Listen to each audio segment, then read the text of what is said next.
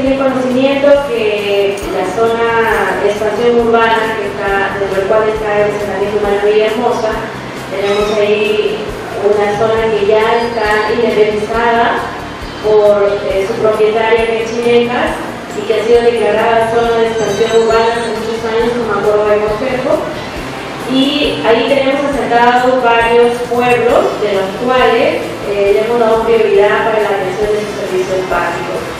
Como el proceso de transferencia de estos terrenos, que son de propiedad chinecas, tiene todo un recorrido que tiene que pasar a la región, la región a la SBI, la SBI a la municipalidad. Entonces, mientras sucede ese proceso, estamos atendiendo a las necesidades. ¿Por qué?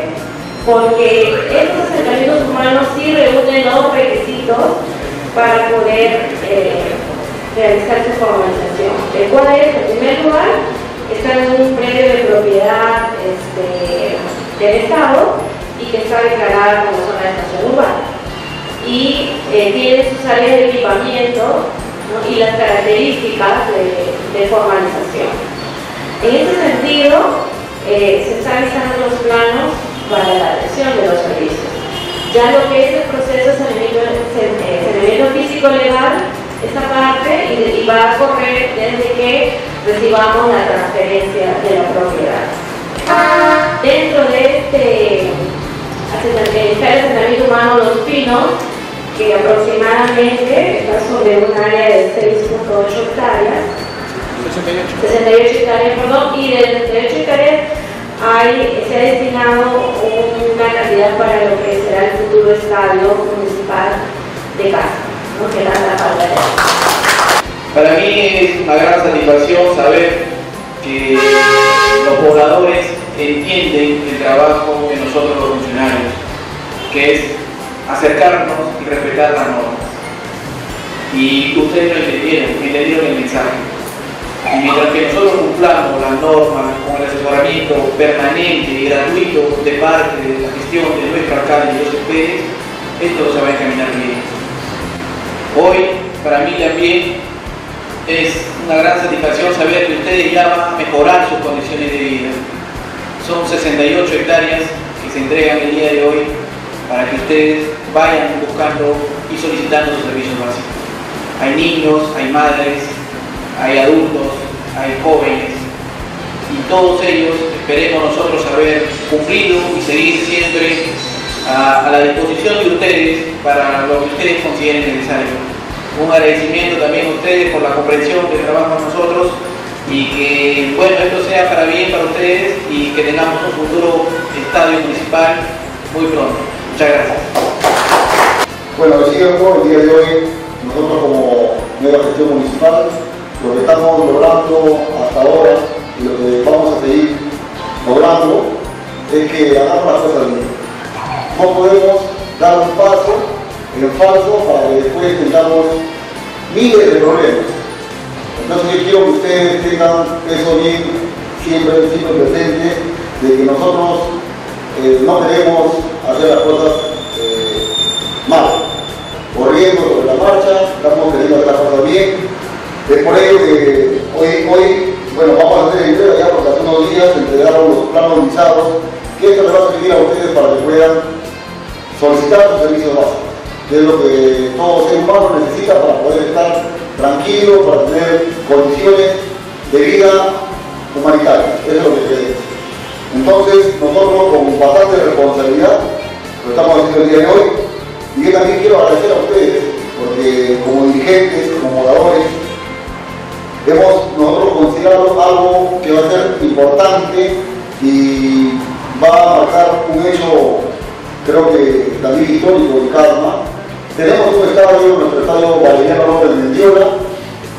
Les comento rápidamente por qué se decidió eh, tener un, área más o menos de cuatro hectáreas y media para el futuro estadio municipal de Karma. Tenemos actualmente uno, ¿correcto? pero haciendo las averiguaciones, porque ustedes muchos saben que a mí me encanta el deporte el estadio no podía dejarse de lado que tenemos el lo que menciona, conversamos con un especialista en la materia que es el arquitecto Roberto Michel. El arquitecto, como sabrán, ha estado en la participante de la ejecución del estadio de la ciudad de Chipol. Entonces, cuando él vino a hacer los estudios topográficos, los estudios de suelo, todo lo que se tenía que hacer para empezar perfil expediente del futuro estadio, Valeriano López Mendiola, nos damos con la sorpresa de que no cumplían o no cumplen con algunas normas que nos exige en este caso el IBE.